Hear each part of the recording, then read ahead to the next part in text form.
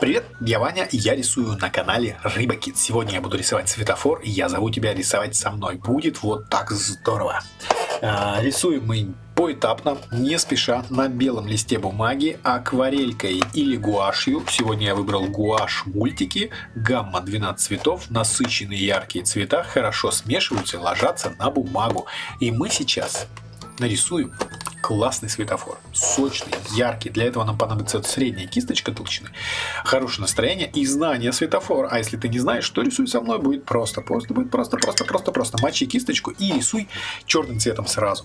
Черный цвет, ты скажешь, ну да, черный цвет. Сначала нарисуем прямоугольник, огромный прямоугольник. Вот такой вот отсюда. Вот так вот он идет. Раз. И вниз. Два. Три. Сразу рисуем кружочки.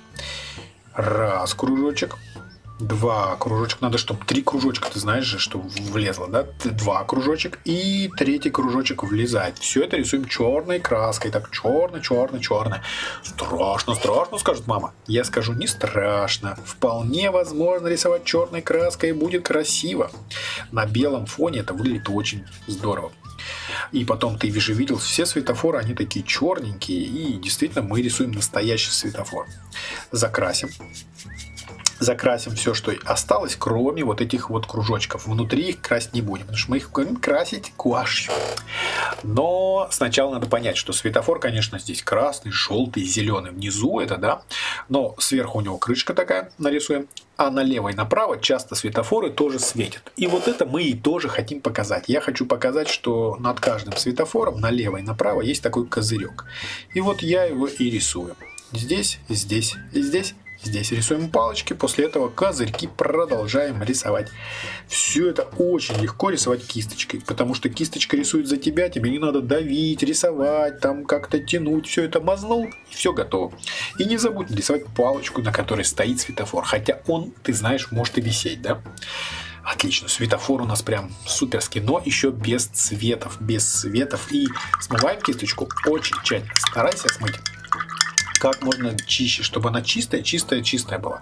В конце даже можешь вытереть ее об тряпочку какую-то, салфеточку, это чтобы она совсем чистая была. И теперь поэтапно будем брать цвета. Сначала красный. Ты знаешь, зачем красный цвет и красный цвет. Красный цвет нам и цвет очень яркий, сочный и вообще такой горячий, он такой активный, да, и он нам показывает, что, ребят, нужно стоять. И здесь показывает, что тоже он везде светит, да, с этой стороны, с этой и с этой. Да? Он нам показывает, ребят, постойте, никуда не надо идти. Стоит, да? После этого смываем кисточку тщательно, потому что следующий цвет желтый, ты же знаешь. Желтый цвет берем его побольше и мажем сверху прям, вот тут желтым цветом. Получается желтый цвет у нас такой сочный, сочный. Он нам говорит, предупреждаю, скоро надо будет двигаться или останавливаться. В общем, внимание, да, говорит. Отлично, это мы тоже сделали.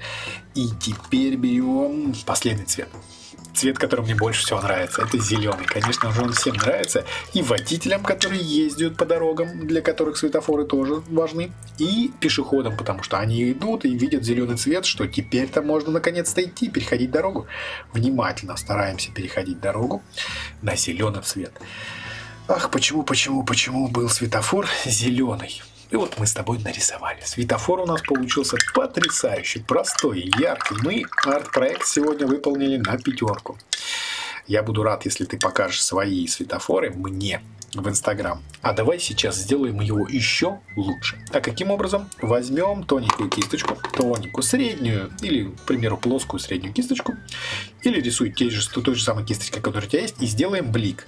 Раз, два, еще зеленого, три. Эти блики помогут нам яркости придать нашей картине. Мы же с тобой настоящие художники, и у нас получается все лучше и лучше. С каждым днем мы рисуем круче. А, у нас получается проще, мы получается ярче рисунки. Мы рисуем светофор с удовольствием. Это очень легко и полезно. И мамам знать тоже, что светофоры полезно рисовать. Надо, конечно же. И рисуем с любовью. Вот что мне нравится, так это простота в светофоре не перепутаешь. Смотришь и радуешься, потому что он управляет нашей жизнью, но только там, где нужно. А потом мы делаем все сами. Мы сами принимаем решение идти нам и ждать. Или нужно бежать и спешить. Так что, ребят, думайте, потом двигайтесь. Хорошего настроения, хороших рисунков и всего хорошего. Там прям счастье, счастье, счастье. Пока-пока-пока.